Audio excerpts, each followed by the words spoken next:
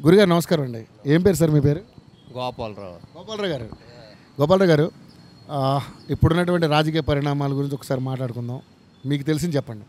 ఏంటి సార్ అసలు? అంటే ఇప్పుడున్నటువంటి ఆంధ్రప్రదేశ్లో ఉన్నటువంటి పరిస్థితి ఒకవైపు బాబాయ్ హత్య కేసు అని టీడీపీ వాళ్ళు చేయించారని వివేకానంద రెడ్డి హత్య కేసు అలాగే అవినాష్ రెడ్డి చేశాడని అలాగే అక్కడ పరిపాలన పరంగా చాలా రకరకాల గందరగోళమైన పరిస్థితి ఏపీలో ఉంది.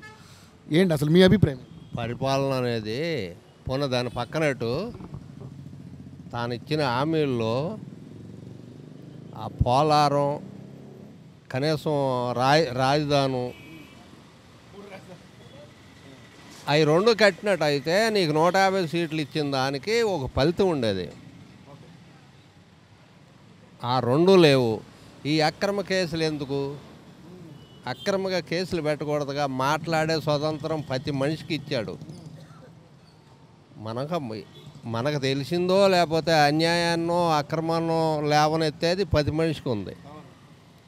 అది ఏదన్నా మాట్లాడితే తీసుకెళ్ళి అందులో పడదేంగి కొట్టియటం ఎక్కడ మాటలు జరిగినా మాట్లాడు ఇప్పుడు ఈరోజు అక్కడ రెండు వందల ఎకరం ఇచ్చారంట కర్నూల్లో. ఇళ్ళ స్థలాలకని. వాళ్ళకి రూపాయి ఇవ్వలేదంట. ఇవాళ కాన్వాయ్ అడ్డం తిరిగితే వాళ్ళని ఈడ్చి పక్క ఇసిరి పడదెంగారు రెండు వందల ఎకరం రైతులు ఇచ్చినాక వాళ్ళకి డబ్బులు ఇవ్వాలి కదా. మరి అలాంటివన్నీ చూస్తుంటే చాలా బాధగా ఉంటుంది. మనం చేసేది ఏమి లేదు. సామాన్యుడు ఏమి చేసేది లేదు. అసలు నువ్వు నీకు బాధ ఏంటి ఎవడు ఎట్టుమచ్చినట్టు ఆడు. చేసుకుంటూ పోతాడు. ఏ పార్టీ అయినా ప్రజల దగ్గరికి వెళ్ళి ప్రతిపక్షం చేసే పని ఏంటి? ప్రతిపక్షం చేసే పని అంటే ప్రజలకి న్యాయం జరగట్లేదని వాళ్ళు మాట్లాడాలి. మాట్లాడకపోతే వాళ్ళకి ఇలువ లేదు. ఆ మాట్లాడినప్పుడు అరెస్ట్లో పోలీసులు దాడి లేకపోతే జనం వచ్చి అడ్డం కొట్టడం. ఇప్పుడు మొన్న అక్కడ అడ్డం తిరిగారు. ఏది చంద్రబాబు నాయుడు కా కాన్వాయ్కి రెండు వేల మంది ఉన్నారు వీళ్ళ దగ్గర. వాళ్ళు రెండు వందల మంది వచ్చారు. ఈ చంద్రబాబు కనుసైకి చేస్తే వాళ్ళని ఏం చేస్తారు? పోయేది సామాన్యమైన ప్రజలేగా. అందులో నాయకులు ఉండరు. ఒక ఎమ్మెల్యే వచ్చి సొక్కా ఇప్పేసి మినిస్టరు. ఏం జరుగుతుంది అక్కడ? ముసుముసును ఎవడు నిన్ను తిడుతుంటే ముసుముసు నవ్వులు నవ్వుతాడు. పిచ్చి నవ్వా అది మంచి నవ్వా తెలీదు. ఒక నాయకుడు తప్పు మాట్లాడుతుంటే నోరు మొయ్యి అసలు లేదు. నా ఇంకా పిచ్చి నవ్వు నవ్వుతున్నాడు. ఇంకా రెచ్చగొట్టేసి నువ్వు బాగా తిట్టినోడికే మినిస్టరు. తర్వాతే నూట యాభై మంది ఎమ్మెల్యేలు ఉన్నారు. ఒక పది పదిహేను మంది తప్ప ఎవడన్నా వెళ్ళి మాట్లాడగలనా? ఎవడికన్నా ఇంటర్వ్యూ ఇస్తున్నాడా? వాళ్ళు కూడా కనీసం గ్రామ సచివాలయం ఉద్యోగుల కన్నా దిక్కుమాలతనం అయిపోయారు. యాభై కోట్లు వంద కోట్లు ఖర్చు పెట్టారు వాళ్ళు. వాళ్ళు ఎందుకు ఖర్చు పెట్టారంటే కొంతమంది దొబ్బుదామని ఖర్చు పెడతారు. కొంతమంది ఏమో ప్రజాసేవ చేద్దామని ఖర్చు పెడతారు. ఎప్పటికీ యాల్వి లేనప్పుడు అసలు పరిపాలన ఏముంది? అది పరిపాలన అని చెప్పుకోవటాకే ఉంది. కానీ మరి ఇప్పుడు ఉన్నటువంటి పరిస్థితులలో మేము సంక్షేమం పర్ఫెక్ట్గా చేస్తున్నాం కాబట్టి మేము మాకు నూట నూట డెబ్బై ఐదు నూట డెబ్బై ఐదు వచ్చేస్తాయి. అంటున్నాడు. సంక్షేమం ఏం చేస్తున్నాడు పథకాలు? ఈ వరకు ఉన్నాయి ఎన్ని కార్పొరేషన్ ఎన్ని కార్పొరేషన్లు పెట్టాడు ఈ వరకే? ఆ కార్పొరేషన్లో డబ్బులు పెట్టేవాడు దానికి ఒక ఇది ఇచ్చేవాడు. ఆ కార్పొరేషన్లు అన్ని ఎత్తి నువ్వు బటన్ నొక్కుతున్నావు అంటే ఎంతమందికి పడుతున్నాయి? ఎన్ని పెన్షన్లు తీసావు నీకు కారు ఉంటే పెన్షన్ తీసావు కరెంటు బిల్లు ఎక్కువ వస్తే పెన్షన్ అవి పెంచాడు. పెంచమంటే ఎక్కువ వచ్చినాయి ఇప్పుడు. ఎక్కువ వచ్చినాయి వాటి మీద ఎన్ని తీసావు? లెక్క చెప్పమను చంద్రబాబు ఉండగా ఈది ఈదికి ముందల ఐదేళ్ళు ప్రతి ఈది ఇంతలోదు బురదలో వెళ్ళేవాళ్ళు. సిమెంట్ రోడ్లు వేసాడు ఈ వరకు అయితే మూడు నాలుగు స్తంభాలకు ఒక లైట్ వేసేవాడు. ఇప్పుడు ప్రతి స్తంభానికి లైట్ వేసాడు మన చంద్రబాబు. ఇప్పుడు అవి ఎలగపోతే దిక్కు లేదు. లైట్ పోతే దిక్కు లేదు. పట్టించుకునే పరిస్థితి లేదు. మంచినీళ్ళది ఎక్కడన్నా పైప్ పగిలిపోతే అది వేసే దిక్కు లేదు.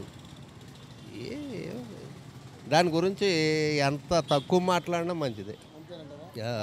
ఆంధ్రప్రదేశ్ పరిస్థితి అలా అయిపోయింది. అలా పరిస్థితి. ఎప్పుడైతే తెలంగాణ నుంచి వేరుపడ్డది అప్పుడే దాని పరిస్థితి మారిపోయింది.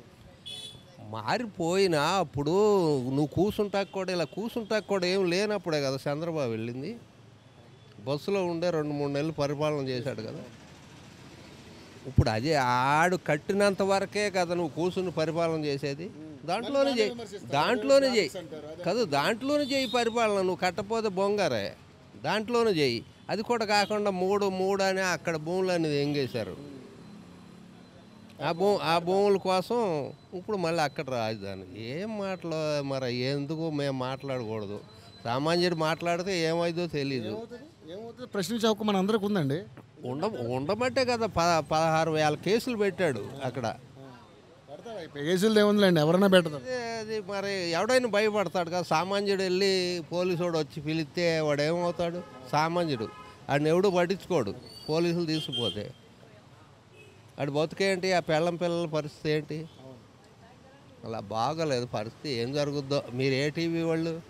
మాది పొలిటికల్ ట్రీ అండి బట్ మరి ఈసారి అవకాశం ఉందా చంద్రబాబు నూటుకు నూరు పళ్ళు ఉంది. అంటే విత్ పొత్త వితౌట్ పొత్త? ఒంటరిగా అయితే వంద వస్తాయి. పొత్తుతో అయితే నూట యాభై ఓ.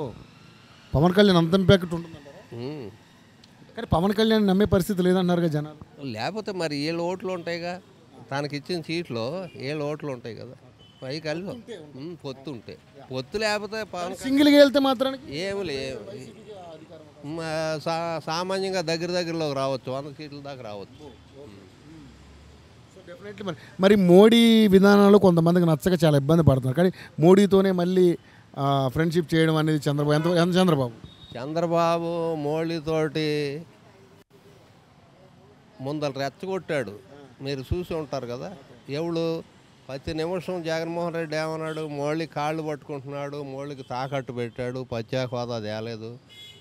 నేను వస్తే పచ్చాక హోదా మెల్ల ఇరిసి తెస్తాను. అన్నాడు కదా ఆ- అప్పుడు అప్పుడు ఇంత అనుభవం ఉండి కూడా మోళీ ఒకసారి ఇక్కడ గుంటూరు జిల్లా ఎక్కడికి వచ్చాడు కదా అప్పుడు. వచ్చినప్పుడు రాళ్ళ వేశారు. అప్పుడే చెప్పాడు నువ్వు జగన్మోహన్ రెడ్డి ట్యాప్ ట్యాపింగ్లో పడుతున్నావు నువ్వు దెబ్బ అయిపోతావని. మోళీయే చెప్పాడు ఇప్పుడు గత్యంతరం లేదు మోళీతోటి ఇది లేకపోతే రేపు సంగతి భవిష్యత్తులో ఎలా ఉండా? భవిష్యత్తులో ఎలా ఉంటే అలా మారుతారండి. రాజకీయ నాయకులు ఏముంది? మరి ఇప్పుడు ఆ రోజు రాజీవ్ గాంధీకే సపోర్ట్ చేశాడు. రాజీవ్ గాంధీ ఏం సపోర్ట్ చేయగలడు ఈయనకి? ఇప్పుడు మనకు కావాల్సింది రాష్ట్ర ముఖ్యం. రాష్ట్రమే ముఖ్యం. దాన్ని బట్టి వెళ్తున్నాడు. కొంతమంది నచ్చని వాళ్ళు మోళీ దగ్గరికి ఎందుకు మోళీతోటి ఎందుకు మాట్లాడుతున్నాడు అంటారు. మోళీతోటి మాట్లాడకపోతే గత్యంతరం లేదు. అవునా? రేపు మళ్ళీ మౌళి వచ్చాడు అనుకో ఒకవేళ చంద్రబాబు వచ్చిన ఏం న్యాయం చేయగలడు? మోళీతోటి పెట్టుకుంటే నార్మల్గా ఉంటున్నాడు. మౌళి సంఖలోకి వెళ్ళలేదు. మౌళిని వదిలిపెట్టి కూడా ఉండకూడదు. బాగా ఆలోచించి చూడండి. మౌళిని వదిలిపెడితే జరిగే నష్టం ఎక్కువైద్ది. రాష్ట్రానికి చంద్రబాబుకి ఏం ఓడో జగన్మోహన్ రెడ్డికి ఏం ఓడదు? బాగానే ఉంటారు. రాష్ట్ర ప్రజలు. దిక్కుమాలతానం అయిపోతారు. ఇప్పటికే అయిపోయారంటున్నారుగా ఇప్పుడు శుభ్రంగాను. ఎవరున్నారండి? అందరూ హైదరాబాద్లో ఉన్నారు లేకపోతే చెన్నైలో ఉన్నారు లేకపోతే బెంగళూరులో ఉన్నారు ఇంకా యూత్ పిల్లల ఎవడు ఎవడు లేడు. అప్పుడు ఆనాడు చంద్రబాబు పురసాయంలో చదువుకున్న వాళ్ళందరూ ఇలా హ్యాపీగా బయట దేశాలకు వెళ్ళి బతుకుతున్నారు ఒకవేళ లేని వాళ్ళు కూడా సాకల మంగళ్ళు కూడా ఇక్కడ హైదరాబాద్ వచ్చి బతుకుతున్నారు అక్కడ ఎవడో లేడు. నువ్వు సామాన్యుడు రెండు జతల బట్టలు ఇత్తిరి చేయించుకునే దమ్ము కూడా లేకుండా పోయింది అక్కడ. అయ్యో. నువ్వు ఇప్పుడు నువ్వు పథకాలు ఇస్తున్నావు. నువ్వు కష్టపడిన డబ్బు అయితే జాగ్రత్తగా వాడుకుంటావు. నువ్వు ఇరవై వేలు పథకం వేస్తున్నావు. పదివేలు ఆడు పుచ్చుకు ఎంగే మందు మందు కాడ తాగుతున్నాడు. పదివేలు నువ్వు వెళ్ళి రెండు చీరలు కొనుక్కొస్తున్నావు. అవి ఊరుకుని వచ్చిన డబ్బులు అవి రేపటికి లేవు. డెవలప్ ఎలా అవుతుంది. నువ్వు ఏదన్నా డెవలప్ చూసి చూపించి ఇంతకన్నా బాగా ఖర్చు పెట్టు. అప్పుడు రాజశేఖర రెడ్డి గారు కొన్ని ఖర్చు పెట్టాడు. అవి ఎలాగంటే అవి ఎలాగంటే అప్పుడు మిగిలిన రాష్ట్రం కలిసి ఉంది. అప్పుడుకి చంద్రబాబు ఉద్దేశం ఏంటంటే ఎక్కువ పోగు చేయాలి. నాకు తెలిసి. ఏది పోగు చేసి అభివృద్ధి చేయాలి. ఆ పోగు చేసి ఉంచాడు. రాజశేఖర రెడ్డి గారు ఖర్చు పెట్టి దేవుడు అయ్యాడు మొన్న పో మొన్న కూడా పొదుపు చేశాడు కదా. అలా ఉన్న రాష్ట్రంలో ఏదన్నా ఆపాడా? ఇక్కడ రాజధాని ఆపల. అక్కడ ప్యాజిట్ ఆపల. డబ్బులు ఎక్కడే అనేది వదిలే కేంద్రం అవ్వచ్చు మనం అవ్వచ్చు. మొదలు కట్టాడు. కొన్ని ప్యా ఈ ఫ్యాక్టరీలు తీసుకొచ్చాడు. ఆ ఫ్యాక్టరీలు వెనక దొబ్బుతున్నాయి ఇప్పుడు. దొబ్బునాయి కదా? మీకు తెలిసిందేగా? ఇవన్నీ ఏమవుతాయి? కియా కంపెనీ కూడా ఇప్పుడు పోయే పరిస్థితిలో ఉందని చెప్పి ఉంది ఉంది కదా. నువ్వు ఏదన్నా ఎవడన్నా వచ్చి ఓ వంద కోట్లు ఖర్చు పెట్టి ప్యాకెట్ పెడితే దాంట్లో వాటర్ అడుగుతున్నావు. నువ్వు ఏమవుతుంది? ఎక్కడుంటాడు యజమానం అలా అంటే కష్టం కదా.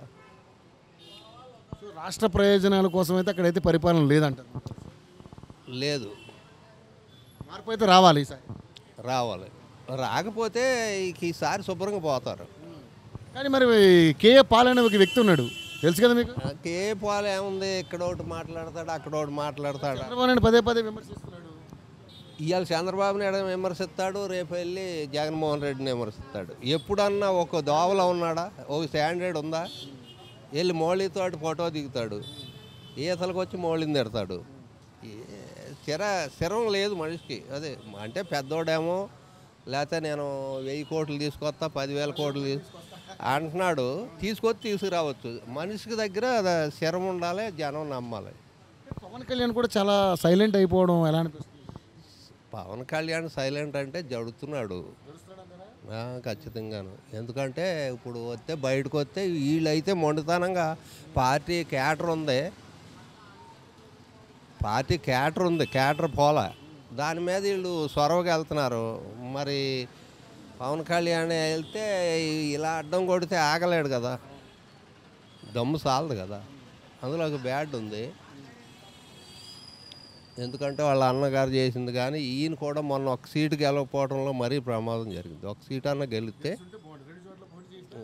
రెండు చోట్ల ఓడిపోవడం పెద్ద కొంచెం బాగుండేది. మారే అవకాశం ఉంది? నూటుకు నూరు పర్సెంట్. చూద్దాం సార్ ఎలా జరగబోతుందని లేకపోతే మీకు ఒకటే గుర్తు. వాళ్ళు వంద బస్సులు పెట్టి జనాన్ని తోలి మే- ఒక మీటింగ్ బటన్ నొక్కుతా డబ్బులు ఎత్తాకే వస్తున్నాడు వచ్చిన అక్కడ మంచినీళ్ళు లేవు సౌకర్యం లేదు. తాను వచ్చేటప్పటికి దూకే గడిపోతున్నారు గట్లు గట్లు ఏమో. ఇప్పుడు చంద్రబాబు నాయుడు అయినా లోకేష్ అయినా ఎవరిని పిలవట్లా? పిలిచి జనాన్ని తోలట్లా. వాళ్ళకి ఎందుకు వస్తున్నారు కొంచెం మార్పు ఉంటేనే అర్ధరాత్రి మొన్న ఆ గుడివేళ ఏం జరిగిందండి? రేత్రి పదకొండు గంటలకు వచ్చాడు. రాలేక దారిలో. పదకొండు గంటలకు జనం పోలా.